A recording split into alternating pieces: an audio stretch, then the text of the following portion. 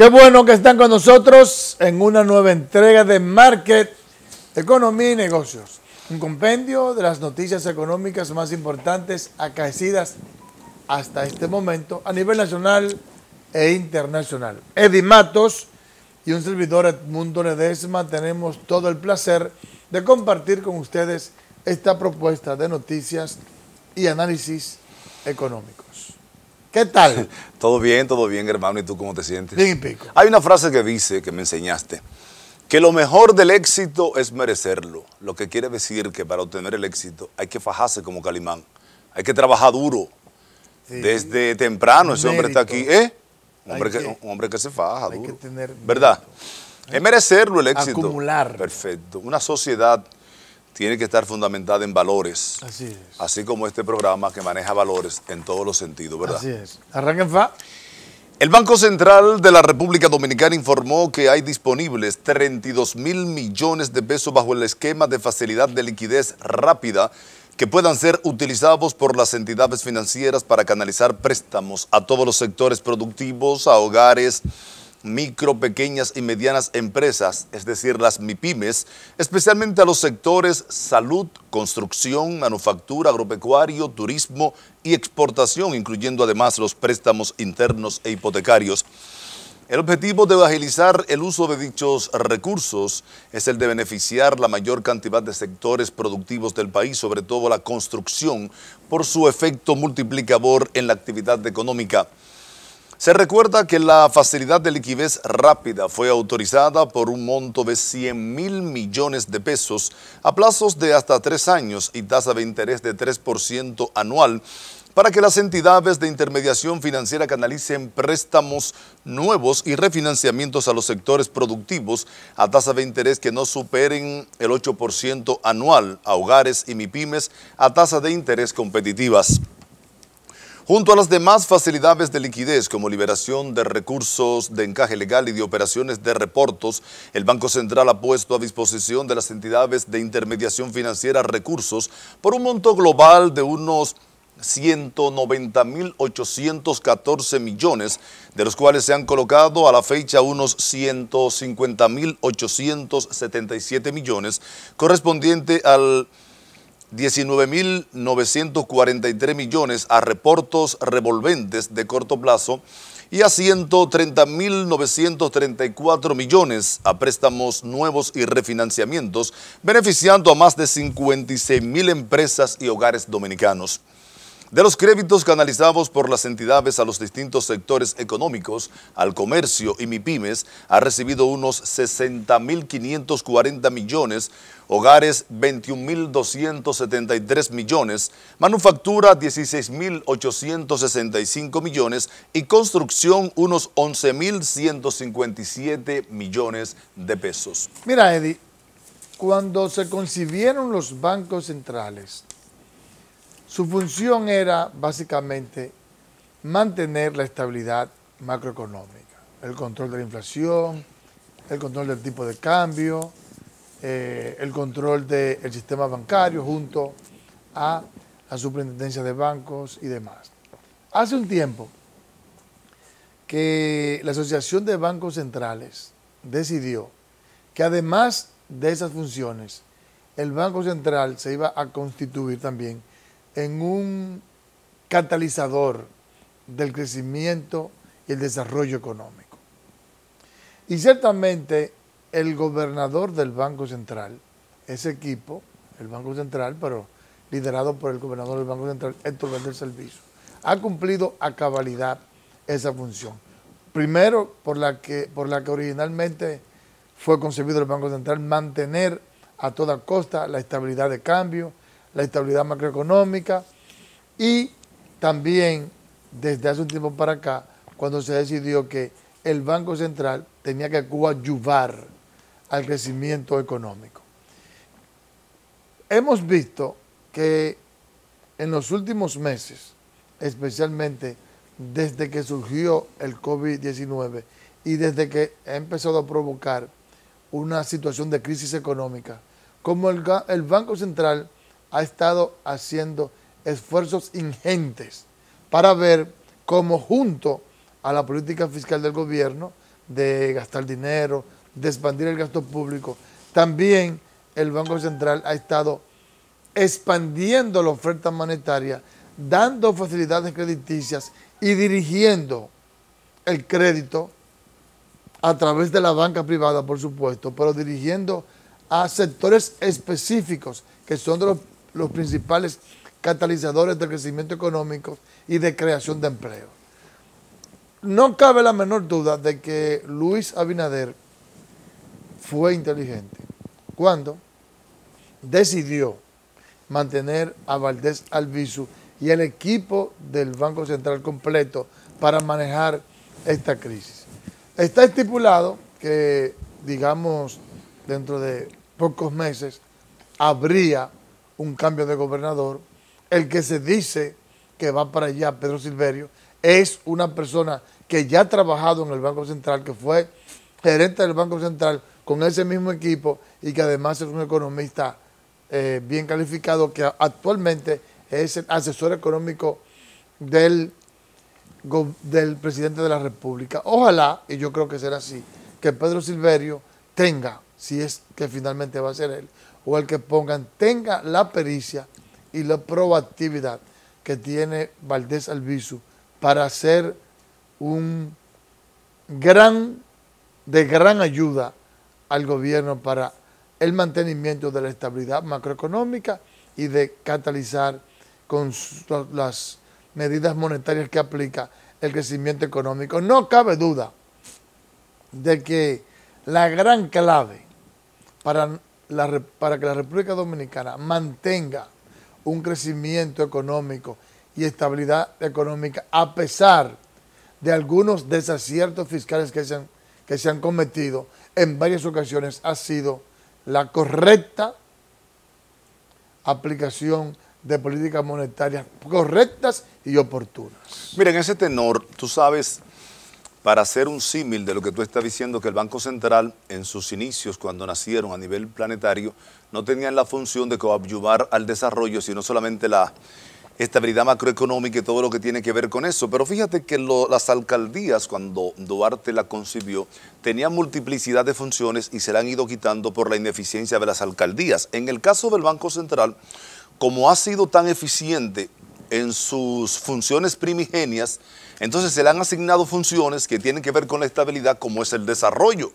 Es decir, si los bancos centrales han cumplido a cabalidad el rol que le dio razón de ser, entonces vamos a asignarle también funciones para mí de tanta importancia como la estabilidad, como es el desarrollo. Así que nosotros de verdad nos unimos a, a ese elogio tuyo, tanto a las autoridades del Banco Central como todo el sistema financiero que se ha manejado de manera correcta y que a pesar de los pesares y de la crisis que abate a la humanidad, que es la peor, nosotros creemos que la República Dominicana, por las autoridades que tiene y el gobierno que se perfila eh, como exitoso porque como tú dijiste y han dicho los principales economistas, fue algo acertado que el presidente no cambiara al gobernador del Banco Central, a pesar de que tiene ahí muchos años, todos los gobiernos lo han dejado, entonces yo creo que hay que felicitar al gobernador del Banco Central. El Instituto Dominicano de las Telecomunicaciones, Indotel, y la Superintendencia de Bancos firmaron un convenio en el cual se comprometen a salvaguardar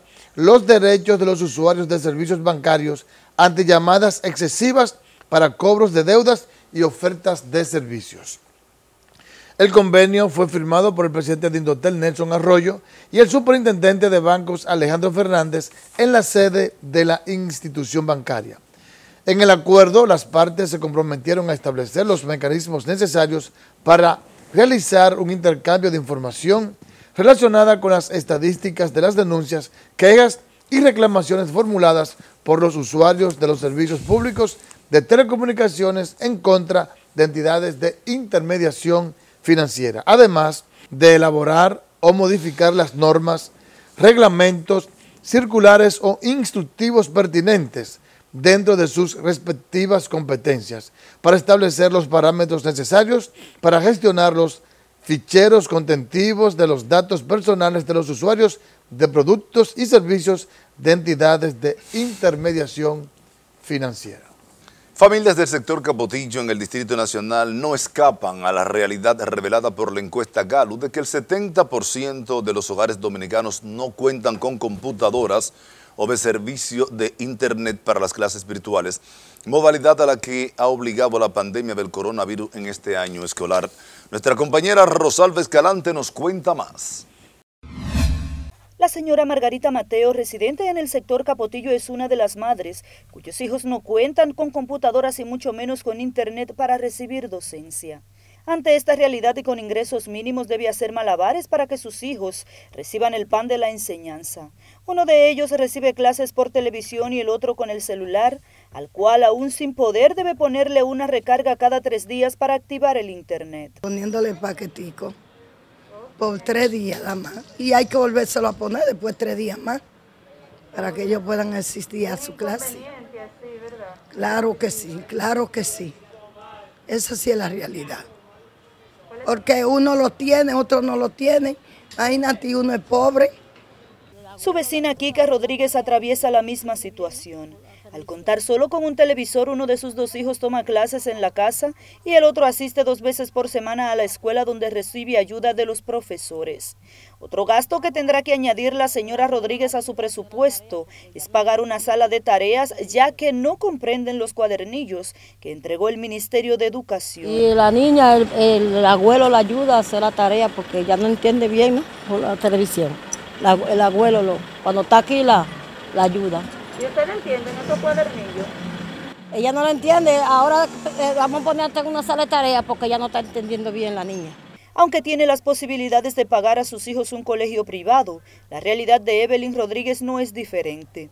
Ella, además de pagar un colegio al que no asisten sus hijos, se vio obligada a adquirir un celular para uno de ellos, mientras que dos perderán el año escolar. Tú sabes que ya eso es un gasto extra, aparte de tú pagar un colegio que ni siquiera ellos están, ¿cómo te explico? Es como, como algo incómodo y tedioso.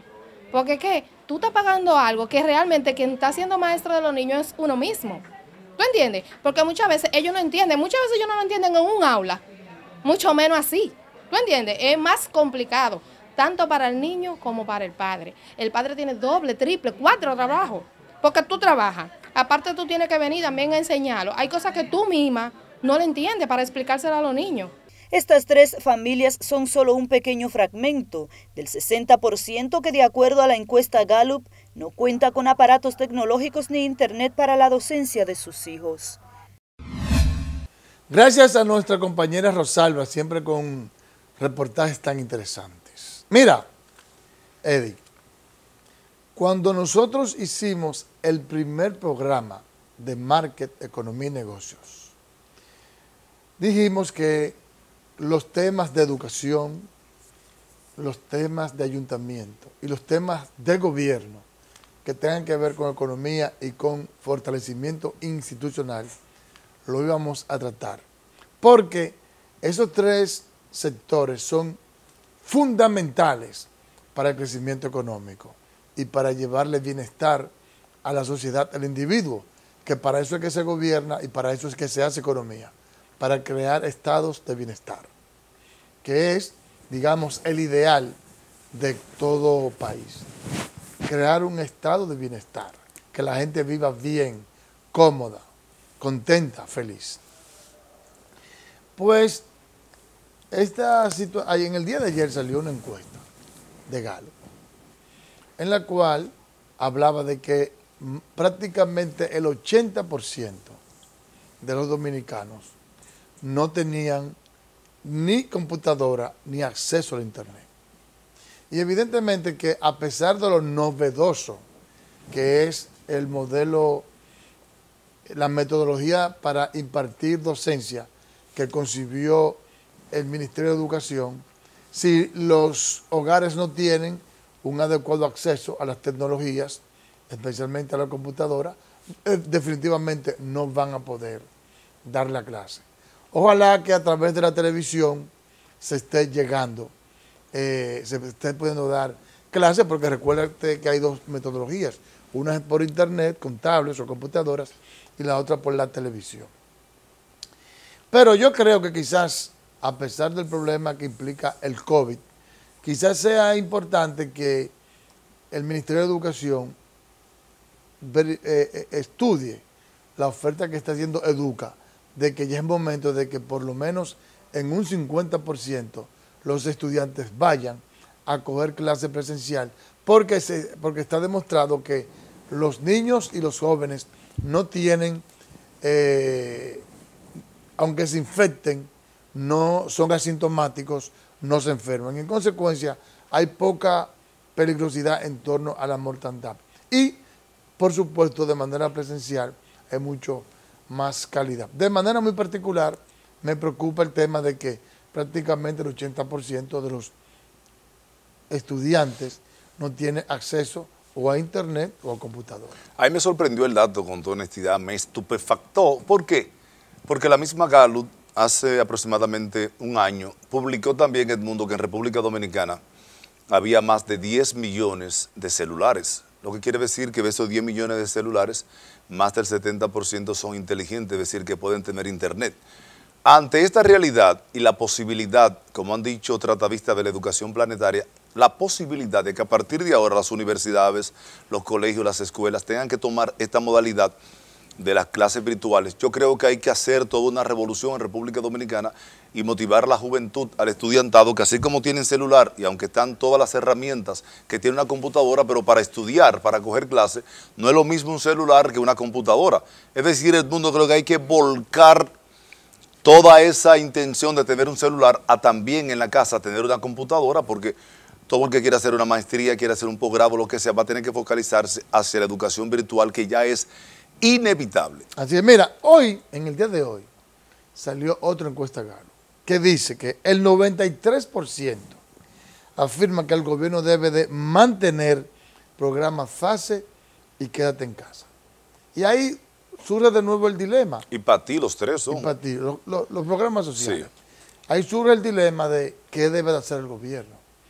La verdad es que recuerda que el, la, el, COVID creó una situación sanitaria que creó también una crisis económica que trajo como consecuencia que eh, se crearon alrededor de un millón de desempleados. Se ha recuperado algo, pero todavía son muy pocos. Entonces, la familia dominicana prácticamente no tiene ingresos. Entonces, han advertido Temístocles Montaza, economista, el, el propio Leonel Fernández, que quitar esos programas es peligroso, que incluso puede degenerar hasta en una crisis social, con consecuencias que nadie puede determinar. A las empresas no se le puede tampoco cargar, porque incluso muchas han quebrado, muchas han cerrado, y si tú le cargas impuestos, entonces lo que puede hacer es aumentarse la crisis económica y aumentar el desempleo. En consecuencia, nada más, nada más es el gobierno que tiene la capacidad de sacrificarse el año que viene. Eh, eso implicará ir a los mercados internacionales, buscar más bonos, aumentar la deuda externa, no importa. Este año le toca al gobierno, aunque luego se haga una reforma con la cual el, gobierno pueda empezar a compensar el sacrificio que está haciendo. Por otro lado, la encuesta dice que hay que, que, la población apoya la, la reducción de los fondos partidarios y eliminar el barrilito y el cofrecito. Evidentemente que yo corroboro con la población en el sentido de que el barrilito, el cofrecito, hay que eliminarlo. Esa es una aberración institucional, una aberración política.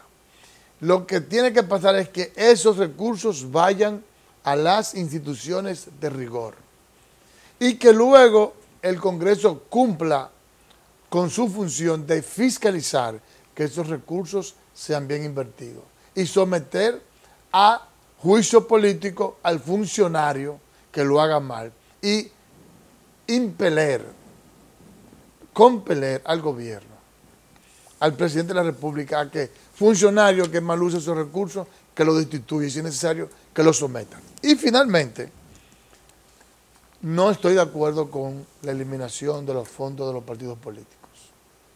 Porque eso sencillamente es realmente una chilata. Pero para los partidos políticos son fundamentales para poder hacer oposición y cumplir con su deber en la democracia. Si tú eliminas los partidos políticos, si los debilitas, se debilita la democracia.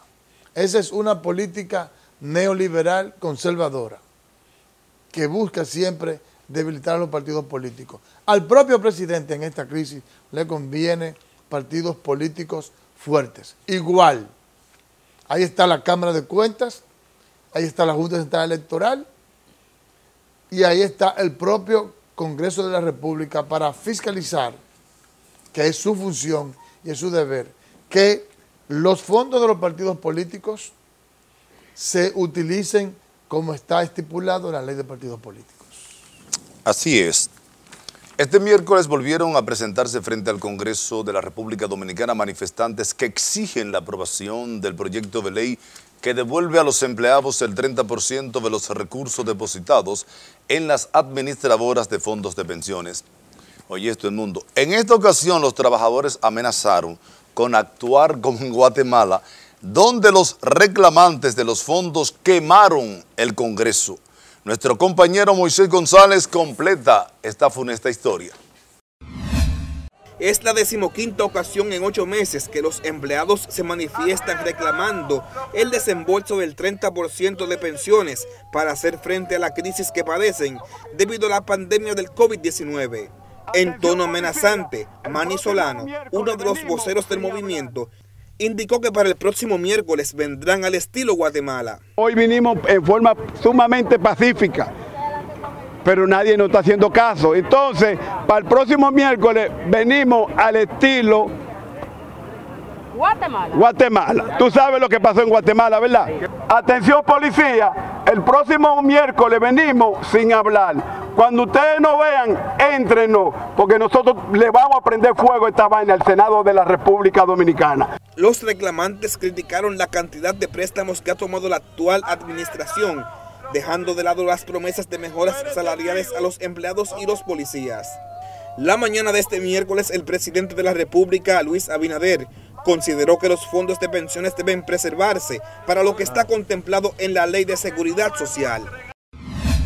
Gracias, Moisés. Yo no quiero ni hablar. Yo, a eso es sinvergüenza lo que hay que meter los presos, incluyendo a Botello. A ellos que hay que quemarlo. Sí, incluyendo a Botello, que está detrás de eso. A propósito, el presidente Luis Abinader aseguró que las ayudas sociales extendidas hasta diciembre para paliar los efectos económicos de la pandemia evitan que se toquen los ahorros de los trabajadores de las AFP, como plantea el proyecto de ley que cursa en el Senado. El mandatario entiende que de producirse dicho desembolso afectaría de manera directa al cotizante a la hora de su retiro. Sobre, ya yo, he tenido mi posición sobre el tema de las, eh, de las ayudas de la AFP.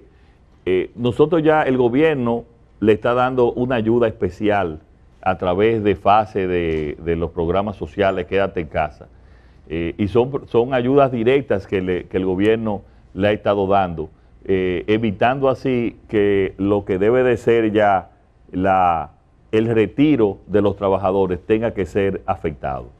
El presidente Luis Abinader y sus principales colaboradores han sido enfáticos en advertir sobre las consecuencias negativas que se podrían derivar de la entrega de esos recursos destinados al retiro de cientos de miles de trabajadores. Leer el diccionario diario convierte a un ser ordinario en extraordinario. Por eso nuestra compañera Indiana Ortega con el diccionario económico. La capacidad de endeudamiento es la cantidad de deuda máxima que puede asumir un individuo o empresa sin llegar a tener problemas de solvencia. La capacidad de endeudamiento puede asignarse tanto a personas físicas como jurídicas o incluso a países. Así se define como el tope de crédito que un prestatario está en la facultad de adquirir sin poner en riesgo su posición económica. Para Market, Economía y Negocios, Indiana Ortega.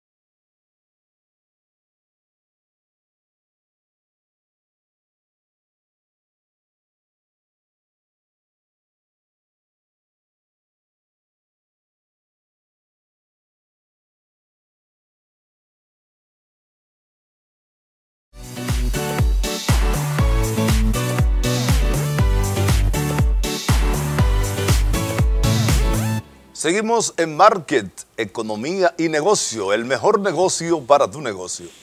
La Cámara de Diputados aprobó este miércoles de urgencia y en dos sesiones consecutivas, con la ausencia de los legisladores del PLD, el proyecto de presupuesto general del Estado con su adendum por un monto que supera el billón de pesos. Nuestro compañero Moisés González tiene la historia. El presupuesto general de la Nación se aprobó con la presencia de 117 diputados y sin el voto de los congresistas del Partido de la Liberación Dominicana, quienes estaban invitados a una reunión del Comité Político del PLD. Antes de abandonar el hemiciclo, los PLDistas Radamés Camacho y Gustavo Sánchez solicitaron que en el presupuesto del 2021 se mantuvieran los programas de ayuda a la ciudadanía y se eliminaran de manera gradual conforme se vayan aplicando la vacuna contra el COVID-19. La única representante del Partido Morado que se quedó durante la sesión fue Lila Alburquerque, quien dijo que no era una cobarde para salir corriendo, al tiempo que no descartó abandonar al PLD. Me quedé responsablemente. Voy a trillar caminos diferentes tal vez. Quizá. ¿Verdad?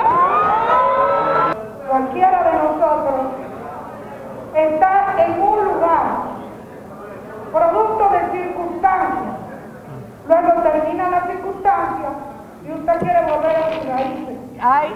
¡Ay! Rafael Maldonado, vocero de la Fuerza del Pueblo, calificó como una politiquería barata la actitud del PLD de criticar el presupuesto general del Estado, mientras que Máximo Castro Silverio, diputado del Partido Reformista por Santiago, lamentó la baja partida asignada a su provincia. Lo que manda el raciocinio y no la politiquería es que a pesar de nuestra diferencia y a pesar de nuestras observaciones que la vamos a expresar en este momento, tenemos que aprobar el proyecto de presupuesto. Santiago, eh, si bien es cierto, es una ciudad industrial que produce empleo, caramba, pero la asignación que tiene Santiago, cualquiera, cualquiera llora. El presupuesto ejecutarse en el año 2021 reduce las partidas presupuestarias de 16 ministerios y se las incrementa a 6 para atender prioridades que necesita la población ante la crisis sanitaria y económica generada por la pandemia del COVID-19. Seguimos en Market, Economía y Negocio. Para acertar en los negocios hay que tomar medidas certeras. Por eso le invito a que se siente tranquilito a escuchar a Bienvenido Castillo, nuestro mercadólogo que siempre trae informaciones interesantes para la estabilidad y el desarrollo de su negocio. Y la adecuada promoción de su servicio o producto. ¿Qué nos tienes hoy? Gracias, gracias. Hoy tenemos un tema muy interesante y acabando de ver ese análisis tan profundo que ustedes hacían sobre las inversiones que está haciendo el Banco Central, sobre todo en las MIPIMES, Ustedes saben que son la MIPIME las que realmente centran toda la producción nacional y sobre todo donde se generan los empleos en el país. Es interesante este tema que se llama la 4P de marketing, que es prácticamente la columna vertebral de, los elementos básicos del marketing y sobre todo en las pymes. Y traigo este tema eh, a colación de esas inversiones que va a hacer el Banco Central, de por qué la pyme y tanto la, mediana como la grande deberían utilizar y aplicar la 4P de marketing. Y digo esto porque precisamente en todas las pequeñas y medianas empresas, cuando usted va a un departamento de marketing, lo último que ustedes ven ahí es que se pueda conversar y que se pueda hablar sobre qué están haciendo las empresas a través de ese departamento de marketing, porque a veces lo que hace es que simplemente ponen el concepto en la estructura, pero en la práctica están divorciados totalmente. ¿Qué significa esto? Y voy a hacer mención prácticamente de 2P, porque aquí hemos ido tratando la 4P, porque las 4P son elementos que traen prácticamente el marketing mix y que trae todas las estrategias de marketing involucradas en esa 4P. Pero me quiero referir específicamente a los productos y la distribución, que es prácticamente la, donde están los puntos de venta, la plaza, específicamente, y ya cuando hablamos de la, de la P de producto, en este caso, que es la esencia dentro de una empresa y sobre todo de cómo deben desarrollar ellos eh, su marca, en este caso su producto. Fíjense que cuando se habla de producto como esencia, los productos es donde está mezclada todas las estrategias y sobre todo lo que conlleva el producto. Un producto es donde está la marca, el tipo de, de, envase, el tipo de letra que tiene el producto, el tipo de color, todo eso tiene una influencia directa en los consumidores. Y esa influencia, además de que está ya hecho el producto, ¿qué deben hacer las empresas después que tienen estos elementos? Y sobre todo cuando son pequeñas, que tienen mala práctica, porque a veces desconocen, o sea, que la calidad de ese producto y la esencia de ese producto está sujeta a los consumidores de cómo debe ser colocada. O sea, dentro de todos los elementos, porque no vamos a mencionar ahora, porque hablar de publicidad, hablar de precio, eso conllevaría dos programas de televisión. Pero en el caso, por ejemplo, de que puede que el producto tenga esto, ¿qué va a hacer la empresa con ese producto? El valor que tiene, a quién se lo va a vender, dónde lo va a vender, cómo lo va a vender, dónde lo va a vender, porque los elementos de la estrategia de distribución también tienen elementos muy importantes y es que a qué distancia están los consumidores, dónde se van a colocar a nivel regional, a nivel local, a nivel internacional, porque ese traslado tiene una connotación que puede hacer que el elemento del producto en algún momento tenga alguna debilidad. a poner un caso, en el caso, por ejemplo, que sea un producto, un refresco, y que el producto sea llevado a Pedernales y quizá la carretera de Pedernales no estén bien, ese movimiento del camión o, del, o de la guagua que esté llevando ese producto hace que pierda el elemento del Coge sabor. demasiado calor y, eso, lo daña. Exacto, y todos esos elementos hace que pierda la, esencia del sabor en ese, en ese trayecto. Y por eso los canales de distribución tienen, en este caso, tienen un impacto directo en los consumidores, porque qué tan cerca usted lo pone de los consumidores y quizá qué tan a favor está de los consumidores, porque hay, hay, hay estrategias, por ejemplo, hay cuatro estrategias que se que son muy interesantes cuando se está haciendo un análisis de canal de distribución. Ustedes ven a veces le dicen que el caso, por ejemplo, de un elemento que quizás ustedes conocen bien, que dicen, ya yo peiné esa zona. Hay una estrategia que se llama de peine, que es, o sea, cómo en una carretera tú puedes ir a los diferentes establecimientos y que pueda ser abarcado por el vendedor o el que esté a cargo de esa, distribución. En el caso, por ejemplo, el de Salto, que tú vas aquí, después va allí, después va en otro lado, dependiendo cómo esté georreferencial. Recuérdate que ahora hoy hay muchas tecnologías que se están implementando de georreferencia, que tú simplemente de tu casa tú puedes hacer, tú puedes decir, yo quiero ir hoy, nada más quiero visitar la, la cafetería. Y, con un elemento de georreferencia tú puedes hacer un levantamiento donde nada más te salen todas las cafeterías de X población. Y eso hace que tú seas más rápido en el momento que vayas a colocar el producto y que no cometan el error que han cometido muchas empresas que han desaparecido aquí, que primero promueven, o sea, en todos los medios, y cuando tú vas a buscar producto a los puntos de ventas, el producto tú no lo encuentras. Y esto lo que hace es que cuando el consumidor no encuentra el producto en el establecimiento donde ellos dicen que están, lo que hacen es que siguen comprando el mismo producto y quizás con más, con más audaz porque la gente comienza a consumir ese producto. Y esto es lo que nosotros queremos que esa pequeña y mediana empresa puedan, con estos tips que traemos a través de Marque TV, para que puedan ellos utilizar esto de manera práctica, que no simplemente pongan ahí en un departamento de venta, un departamento de mercadotecnia, que simplemente utilicen el concepto de mercadotecnia, pero que también lo pongan en práctica. Así que para, un, para el próximo programa traeremos algunos otros tips que puedan utilizar la pequeña y mediana empresa y para que puedan fortalecer sus productos y servicios. Así Bien, excelente. Gracias, Gracias, don Bienvenido Castillo, tremendo, tremendo, este hombre Como siempre. impecable. El ingeniero Rafael Salazar, administrador general de la empresa de generación hidroeléctrica dominicana GI, afirmó que el país se ahorró más de 28 millones de dólares por concepto de compra de 689.230 barriles de petróleo durante los primeros 100 días de gestión del Partido Revolucionario Moderno.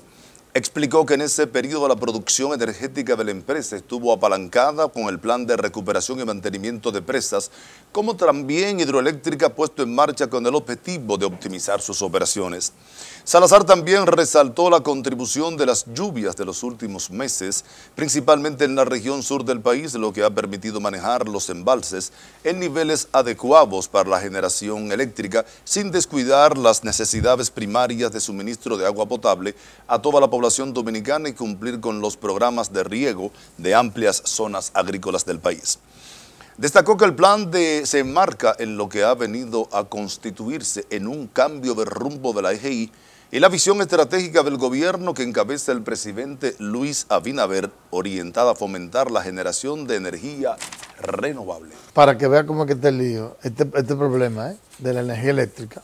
Comerciantes denunciaron un supuesto fraude afectado por las altas facturas y la deficiencia en el servicio. Veamos una, una historia que nos preparó nuestra compañera Maciel Genao.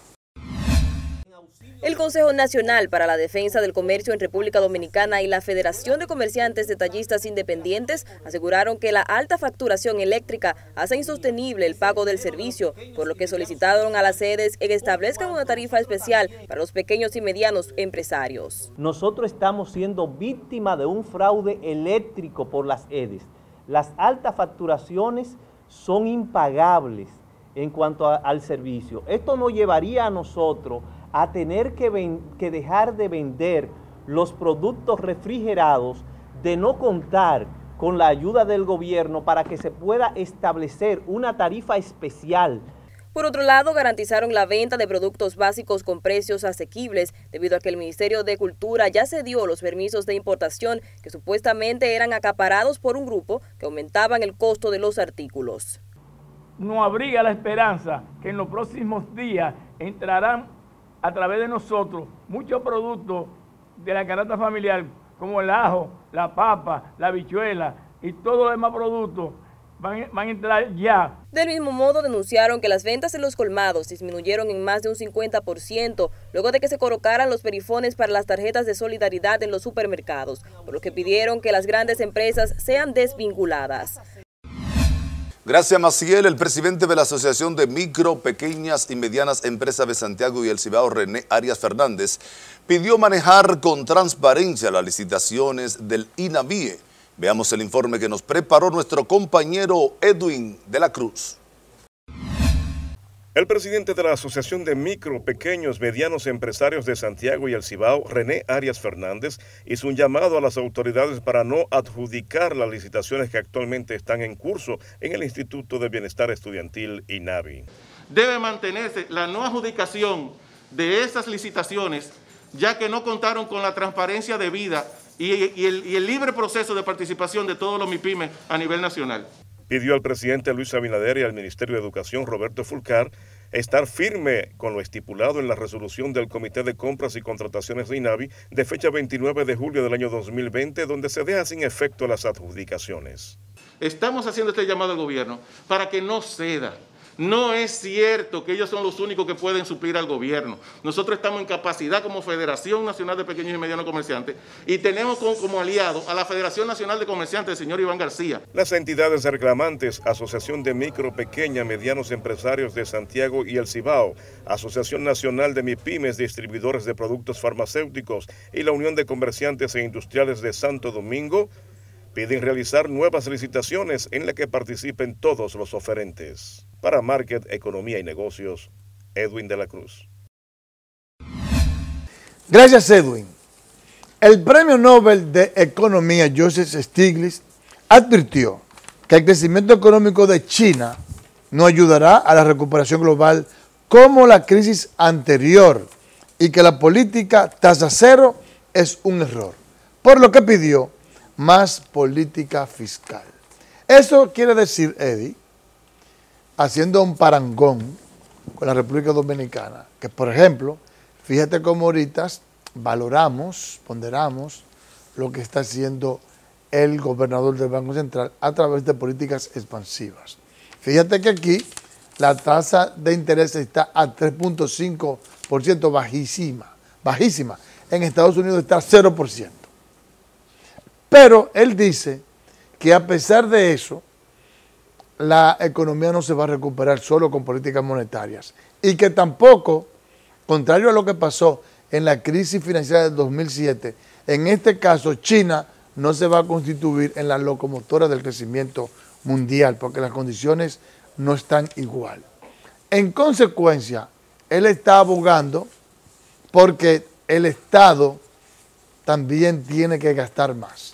Él aboga porque haya más déficits fiscales en este tiempo, como estábamos hablando ahorita con, de manera muy particular con la República Dominicana, pero que también los países europeos y Estados Unidos también se aboquen a tener un más elevado déficit fiscal para que se gaste más, porque ahora será necesario una agresiva política monetaria con una agresiva política fiscal para lograr que la economía se pueda restablecer, porque los impactos de esta crisis son mucho más amplias que la anterior.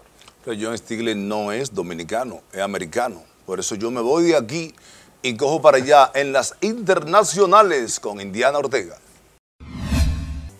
El Banco Centroamericano de Integración Económica concedió a Nicaragua dos préstamos por 443 millones de dólares, uno para la reactivación económica y la protección social y otro para financiar la ejecución de un proyecto de ampliación de la cobertura eléctrica en el país.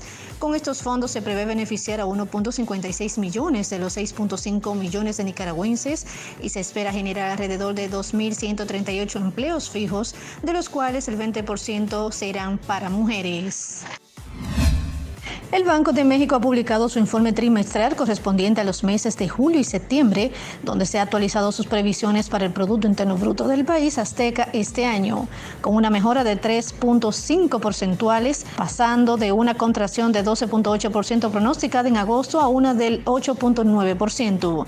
En el informe, donde se presentan varias proyecciones macroeconómicas, el Banco Central ha proyectado un crecimiento del PIB de 3.3% y del 2.6% para el 2020 2021 y 2022 respectivamente. La institución ha explicado que el escenario central de sus previsiones apunta a una recuperación gradual, a un tipo o a un ritmo moderado que reflejaría la paulatina recuperación de la economía global. El Producto Interno Bruto del Reino Unido caerá un 11.3% en el 2020 por efecto de la pandemia, la mayor contracción en más de 300 años. A partir de cálculos de la Oficina de Responsabilidad Presupuestaria que vigila las finanzas públicas, SUNAC, indica que la economía crecerá 5.5% en el 2021, un 6.6% en el 2022 y 2.3% en el 2023. Para combatir la crisis generada por la pandemia, el gobierno habrá tomado prestados este año 394 mil millones de libras para un 19% del PIB, el mayor endeudamiento presupuestario en la historia del país. Para Market, Economía y Negocios, Indiana Ortega.